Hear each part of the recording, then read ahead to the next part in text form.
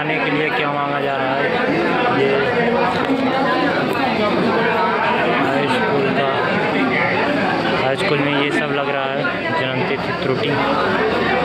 और ये इंटर, जो कि करप्शन,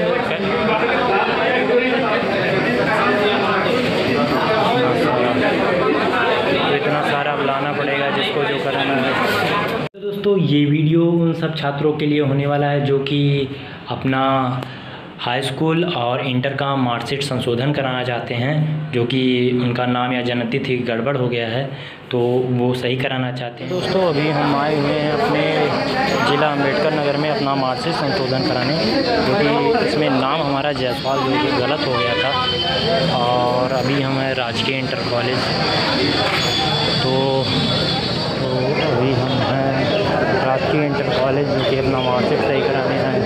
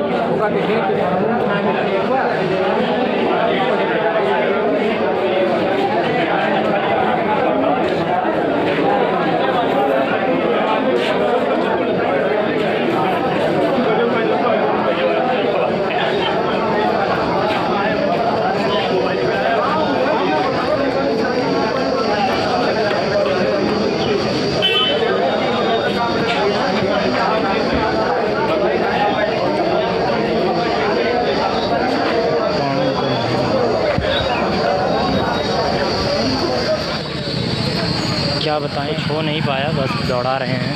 ये बारह तारीख से कैंप लगा हुआ है और बच्चे बस दौड़ रहे हैं क्योंकि ये जो कैंप है उन सब के लिए है जो अपना मार्कशीट यूपी बोर्ड, जो कि यूपी बोर्ड वालों का लगा हुआ है मार्कशीट संशोधन कराने के लिए। तो वो जो पहले दे चुके हैं अपना संशोधन कराने के लिए, जो कि बनारस गए हुए हैं बहुत लोग तो उन सब के लिए ये है मार्कशीट संशोधन।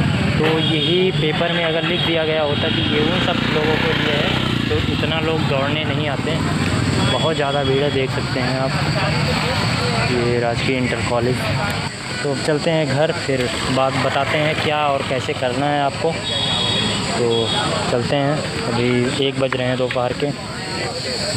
अभी तो घर चलकर बात करते हैं। बहुत ही ज़्यादा गर्मी है, बहुत तो दोस्तों, घर पे आ चुके हैं। बहुत ही ज़्यादा गर्मी है और हमारे घर से 25 किलोमीटर दूर था वो कॉलेज, जो कि जहाँ ये